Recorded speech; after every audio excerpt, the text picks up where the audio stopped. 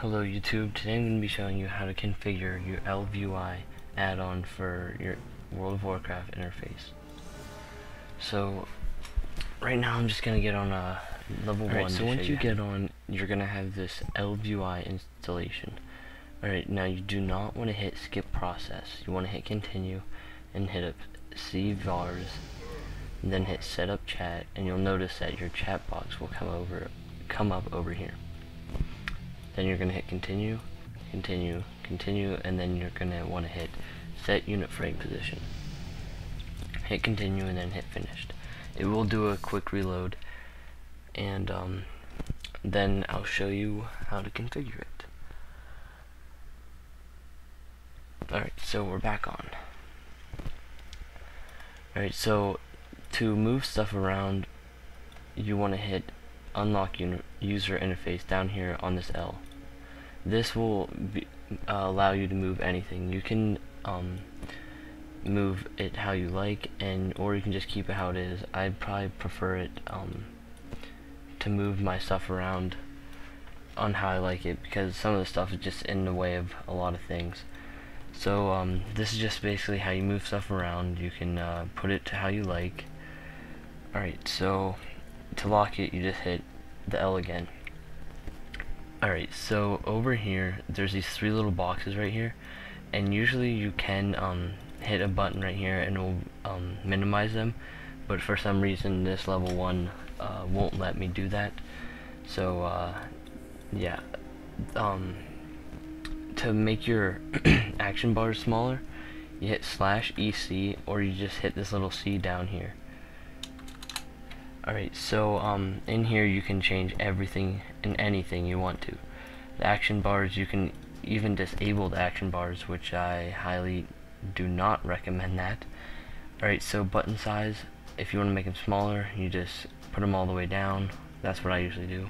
And the button space all the way down. We'll Alright, so now you can see our action bar is really small.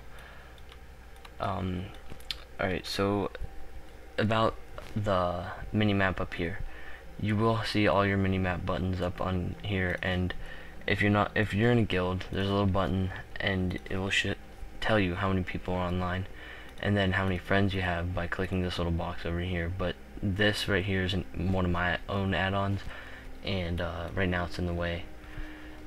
On right here where it has the little buff pictures it is telling you that you're missing those buffs and that what you need to get if you do not want to see one of the chat boxes open, you just hit this little arrow and it will make the chat boxes okay, disappear. Okay, so I found out um, why I couldn't make these little three boxes disappear.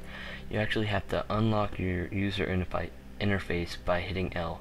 And then there's this little option, this little arrow that will uh, minimize those. I usually keep them minimized. They just kind of right, get So you way. may run into questions on um, how to change from healing and to DPS um, UI? Well, first off, uh, usually when you begin, it'd probably work if you were a higher level, but um, usually when you begin, it will ask you if you're DPS or healer or tank with the DPS. But you click that button, then you do all your um, setup things. But it didn't do that for me, so I'm going to hit slash EC, or you can just hit the C right there, and actually, well, you can make um go to profiles and you can make different profiles like I have different profiles for my other characters. Um, but to change from healing and DPS you hit slash heal and it will take you to the if healing if you want to find your bags you have to hit the C down here and go to I think I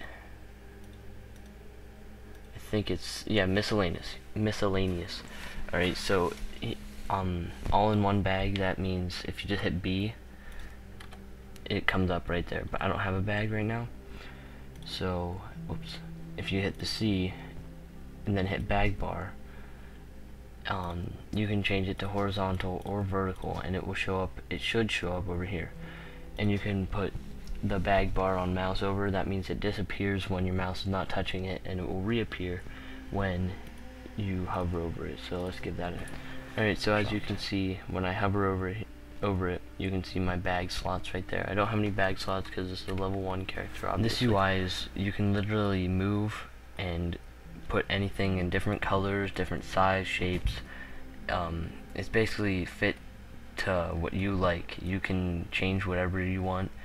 And so I recommend this UI. It's very easy to um, configure and all of that. So I recommend getting this. You can get it off of curse.com or wowinterface.com and it's a simple download and once you watch my video you should this should be very easy to configure your UI. Thanks a lot guys for watching and I'll talk to you later.